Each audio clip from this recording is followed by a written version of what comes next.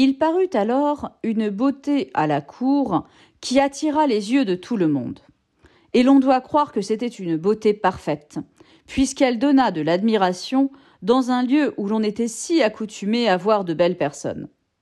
Il faut bien penser que tout ce qui a été dit auparavant, la présentation extraordinaire de la cour, n'est fait que pour ce moment, puisque même avec tous les grands personnages qu'on a vus, qui ont une beauté exceptionnelle, une intelligence exceptionnelle, et qui sont de très hauts personnages de l'État, lorsque mademoiselle de Chartres arrive à la cour, on la considère encore comme une beauté parfaite, qui surprend même cette cour déjà extraordinaire. Donc ça augmente encore le prestige de cette princesse. Je reprends. Elle était de la même maison que le vidame de Chartres, et une des plus grandes héritières de France. Son père était mort jeune, et il avait laissé sous la conduite de Madame de Chartres sa femme, dont le bien, la vertu et le mérite étaient extraordinaires. Encore une fois, belle hyperbole. Après avoir perdu son mari, elle avait passé plusieurs années sans revenir à la cour. Pendant cette absence, elle avait donné ses soins à l'éducation de sa fille, mais elle ne travailla pas seulement à cultiver son esprit et sa beauté, elle songea aussi à lui donner de la vertu et à la lui rendre aimable c'est-à-dire qu'elle lui donne des valeurs morales, c'est ça la vertu, et elle la lui rendre aimable, c'est-à-dire qu'elle ne l'impose pas, elle montre que la vertu doit être pratiquée euh, parce qu'on le choisit, c'est-à-dire que la future, euh, mademoiselle de Chartres, est vertueuse euh, par goût, non par obligation, ce qui la rend encore plus extraordinaire. Je reprends. La plupart des mères s'imaginent qu'il suffit de ne parler jamais de galanterie devant les jeunes personnes pour les en éloigner. Madame de Chartres avait une opinion opposée. Elle faisait souvent à sa fille des peintures de l'amour, elle lui montrait ce qu'il a d'agréable pour la persuader plus aisément sur ce qu'elle lui en apprenait de dangereux. Elle lui contait le peu de sincérité des hommes, leur tromperie et leur infidélité, les malheurs domestiques où plongent les engagements, c'est-à-dire les liaisons, et elle lui faisait voir d'un autre côté quelle tranquillité suivait la vie d'une honnête femme, combien la vertu donnait d'éclat et d'élévation, c'est-à-dire de prestige, à une personne qui avait de la beauté et de la naissance. Mais elle lui faisait voir aussi combien il était difficile de conserver cette vertu que par une extrême défiance de soi-même, la défiance c'est la méfiance, et par un grand soin de s'attacher à ce qui seul peut faire le bonheur d'une femme, qui est d'aimer son mari et d'en être aimée. Donc on fait un portrait exceptionnel de mademoiselle de Chartres et qui a bénéficié en plus d'une éducation exceptionnelle. Cette héritière était alors un des grands partis qu'il y eut en France. Quoiqu'elle fût dans une extrême jeunesse, l'on avait déjà proposé plusieurs mariages.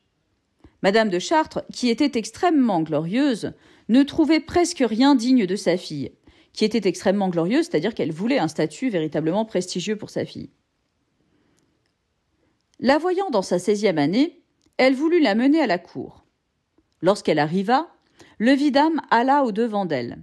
Il fut surpris de la grande beauté de mademoiselle de Chartres, et il en fut surpris avec raison. La blancheur de son teint et ses cheveux blonds lui donnaient un éclat que l'on n'a jamais vu qu'à elle. Tous ses traits étaient réguliers, et son visage et sa personne étaient pleins de grâce et de charme. Le lendemain qu'elle fut arrivée, elle alla pour assortir des pierreries chez un Italien qui en trafiquait par tout le monde. Cet homme était venu de Florence avec la reine, et s'était tellement enrichi dans son trafic, c'est-à-dire dans son commerce, que sa maison paraissait plutôt celle d'un grand seigneur que d'un marchand. Comme elle y était, le prince de Clèves y arriva. Il fut tellement surpris de sa beauté qu'il ne put cacher sa surprise. Et mademoiselle de Chartres ne put s'empêcher de rougir en voyant l'étonnement qu'elle lui avait donné. Elle se remit néanmoins sans témoigner d'autre attention aux actions de ce prince que celle de la civilité que la civilité lui devait donner pour un homme tel qu'il paraissait. La civilité, c'est-à-dire la politesse. Euh, monsieur de, de Clèves est absolument euh, ébloui par sa beauté et euh, mademoiselle de Chartres rougit un petit peu, mais ça ne va pas plus loin. Elle se montre simplement polie avec lui parce qu'il lui paraît être un personnage important de la cour. Enfin, ça lui paraît être un homme, donc elle est polie. Monsieur de Clèves la regardait avec admiration, et il ne pouvait comprendre qui était cette belle personne qu'il ne connaissait point. Il voyait bien par son air et tout ce qui était à sa suite qu'elle devait être d'une grande qualité, c'est-à-dire qu'elle était certainement noble et d'un rang très élevé. Sa jeunesse lui faisait croire que c'était une fille, c'est-à-dire qu'elle n'était pas mariée. Mais, ne lui voyant point de mère, et l'Italien qui ne la connaissait point l'appelant Madame, il ne savait que penser, et il la regardait toujours avec étonnement. Il s'aperçut que ses regards l'embarrassaient, contre l'ordinaire des jeunes personnes, qui voient toujours avec, effet, avec plaisir l'effet de leur beauté. Donc il s'aperçoit qu'il la gêne à force de la fixer, euh, contrairement aux autres qui recherchent plutôt l'attention. Il lui parut même qu'il était la cause qu'elle avait de l'impatience de s'en aller, et en effet elle sortit assez promptement. M. de Clèves se consola de la perdre de vue dans l'espérance de savoir qui elle était, mais il fut bien surpris quand il sut qu'on ne la connaissait point. Il demeura si touché de sa beauté et de l'air modeste qu'il avait remarqué dans ses actions, qu'on peut dire qu'il conçut pour elle, dès ce moment, une passion et une, estime extraordinaires. Il alla le soir chez Madame, sœur du roi. Donc une passion et une estime extraordinaire, quand on emploie le mot passion dans la princesse de Clèves, c'est vraiment une passion dévorante contre laquelle on ne peut pas lutter et qui va s'avérer être euh, sans commune mesure dans le roman. Cette princesse, Madame sœur du roi, était dans une grande considération par le crédit qu'elle avait sur le roi son frère. Et ce crédit, c'est-à-dire cette influence, était si grand que le roi, en faisant la paix, consentait à rendre le Piémont pour lui faire épouser le duc de Savoie. Quoiqu'elle eût désiré toute sa vie de se marier, elle n'avait jamais voulu épouser qu'un souverain, et elle avait refusé pour cette raison le roi de Navarre lorsqu'il était duc de Vendôme, et avait toujours souhaité monsieur de Savoie. Elle avait conservé de l'inclination pour lui depuis qu'elle l'avait vu à Nice à l'entrevue du roi François Ier et du pape Paul III. L'inclination, c'est-à-dire une passion violente. Comme elle avait beaucoup d'esprit et un grand discernement pour les belles choses, elle attirait tous les honnêtes gens, et il y avait de certaines heures où toute la cour était chez elle. Monsieur de Clèves y vint comme à l'ordinaire. Il était si rempli de l'esprit et de la beauté de mademoiselle de Chartres qu'il ne pouvait parler d'autre chose. Il conta tout haut son aventure, et ne pouvait se lasser de donner des louanges à cette personne qu'il avait vue, qu'il ne connaissait point.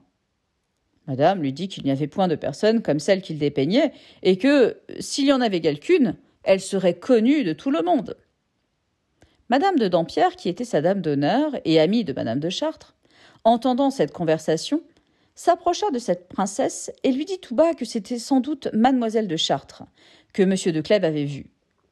Madame se retourna vers lui et lui dit que s'il voulait revenir chez elle le lendemain, elle lui ferait voir cette beauté dont il était si touché, c'est-à-dire dont il était si amoureux. Mademoiselle de Chartres parut en effet le jour suivant. Elle fut reçue des reines avec tous les agréments qu'on peut s'imaginer, et avec une telle admiration de tout le monde qu'elle n'entendait autour d'elle que des louanges. Elle les recevait avec une modestie si noble qu'il ne semblait pas qu'elle les entendît, c'est-à-dire qu'elle les comprit, ou du moins qu'elle en fût touchée. Elle ne les comprend pas spécialement et ça ne lui fait rien. Elle alla ensuite chez Madame, sœur du roi. Cette princesse, après avoir loué sa beauté, lui conta l'étonnement qu'elle avait donné à M. de Clèves. Ce prince entra un moment après.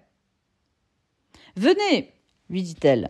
Voyez si je ne vous tiens pas ma parole, et si, en vous montrant mademoiselle de Chartres, je ne vous fais pas voir cette beauté que vous cherchiez. Remerciez-moi au moins de lui avoir appris l'admiration que vous aviez déjà pour elle. M. de Clèves sentit de la joie de voir que cette personne, qu'il avait trouvée si aimable, était d'une qualité si proportionnée à sa beauté. Il est ravi parce qu'il a trouvé une femme très très belle et qu'en plus, coup de bol, elle est d'un rang très élevé. Étant donné qu'il est prince, il lui fallait une épouse euh, digne de son rang. Il s'approcha d'elle et il la supplia de se souvenir qu'il avait été le premier à l'admirer et que, sans la connaître, il avait eu pour elle tous les sentiments de respect et d'estime qui lui étaient dus. Le chevalier de Guise et lui, qui étaient amis, sortirent ensemble de chez madame. Ils louèrent d'abord mademoiselle de Chartres sans se contraindre, c'est-à-dire ils, il la louent naturellement. Ils trouvèrent enfin qu'ils la louaient trop, et ils cessèrent l'un et l'autre de dire ce qu'ils en pensaient. Mais ils furent contraints d'en parler les jours suivants, partout où ils se rencontrèrent. Cette nouvelle beauté fut longtemps le sujet de toutes les conversations. La reine lui donna de grandes louanges et eut pour elle une considération extraordinaire. La reine dauphine en fit une de ses favorites et pria madame de Chartres de la mener souvent chez elle. Mesdames, filles du roi, l'envoyaient chercher pour être de tout leur divertissement. Enfin, elle était aimée et admirée de toute la cour, excepté de madame de Valentinois. Donc mademoiselle de Chartres devient la coqueluche véritablement de la cour, sauf de madame de Valentinois. Ce n'est pas que cette beauté lui donnait de l'ombrage. Une trop longue expérience lui avait appris qu'elle n'avait rien à craindre auprès du roi. Mais elle avait tant de haine pour le vidame de Chartres qu'elle avait souhaité d'attacher à elle par le mariage d'une de ses filles, et qui s'était attachée à la reine, qu'elle ne pouvait regarder favorablement une personne qui portait son nom et pour qui il faisait paraître une grande amitié. Donc, puisque mademoiselle de Chartres appartient à la famille du vidame, par extension, madame de Valentinois la déteste. Le prince de Clèves devint passionnément amoureux de mademoiselle de Chartres et souhaitait ardemment l'épouser. Mais il craignait que l'orgueil de madame de Chartres ne fût blessé de donner sa fille à un homme qui n'était pas l'aîné de sa maison. Cependant, cette maison était si grande, et le comte de, qui en était l'aîné, venait d'épouser une personne si proche de la maison royale, que c'était plutôt la timidité que donne l'amour que de véritables raisons qui causaient les craintes de M. de Clèves. Il avait un grand nombre de rivaux. Le chevalier de Guise lui paraissait le plus redoutable par sa naissance, par son mérite et par l'éclat que la faveur donnait à, sa maison. Ce prince était devenu amoureux de Madame de Chartres le premier jour qu'il l'avait vue. Il s'était aperçu de la passion de M. de Clèves, comme M. de Clèves s'était aperçu de la sienne. Quoiqu'ils fussent amis, l'éloignement que donnent les mêmes prétentions ne leur avait pas permis de s'expliquer ensemble, et leur amitié s'était refroidie sans qu'ils eussent eu la force de s'éclaircir. L'aventure qui était arrivée à M. de Clèves d'avoir vu le premier mademoiselle de Chartres lui paraissait un heureux présage et semblait lui donner quelque avantage sur ses rivaux. Mais il prévoyait de grands obstacles par le duc de Nevers, son père. Ce duc avait d'étroites liaisons avec la duchesse de Valentinois. Elle était ennemie du vidame, et cette raison était suffisante pour empêcher le duc de Nevers de consentir que son fils pensât à sa nièce. Donc effectivement, les projets du prince de Clèves sont contrecarrés par ces histoires de cabale de cour, Madame de Valentinois déteste Mademoiselle de Chartres. Or, le père de Monsieur de Clèves appartient au parti de Madame de Valentinois, donc le mariage paraît a priori difficile.